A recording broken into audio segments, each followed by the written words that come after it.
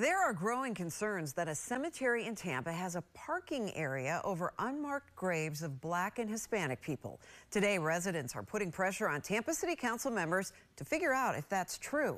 News Channel 8's Ty Russell joins us. He is live in Tampa tonight. Ty. Well, Stacey, the Italian Club of Tampa was initially scheduled to address these concerns back in May and today, but once again, the group had to tell city leaders that they were unable to make it, so the item was pulled from the agenda. During public comment at the Tampa City Council meeting, people expressed concerns over what they say are unmarked graves at the Italian Club Cemetery.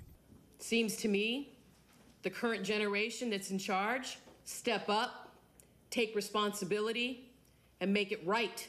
It's simple. Eileen Henderson is focused on the area where people are now parking during burials. The privately owned cemetery was purchased back in the 1890s from a pioneer black family in Tampa. And how every time it's a cemetery or something that's ran over, neglected, uh, blatantly disrespected. It have to be people of color. One woman told the council a relative was laid to rest there, and she wants to know where his body is located. To care so little about their dignity, including that of my great uncle who was lost there.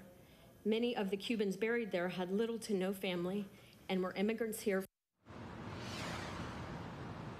And right now, I was able to reach out to the Italian Club of Tampa. I'm still waiting to hear back. Now, it is still unclear whether the group will appear at a future meeting. Stacy? Well, this certainly isn't the first time we've heard about these types of issues and concerns at local cemeteries, but why do leaders say their hands are tied in this case, Ty? Well, leaders have been saying if a cemetery is publicly owned, they can regulate it. However, they say the hard part comes when one is privately owned. There is only so much they can do. Stacy? All right, Ty Russell live in Tampa tonight. Thank you.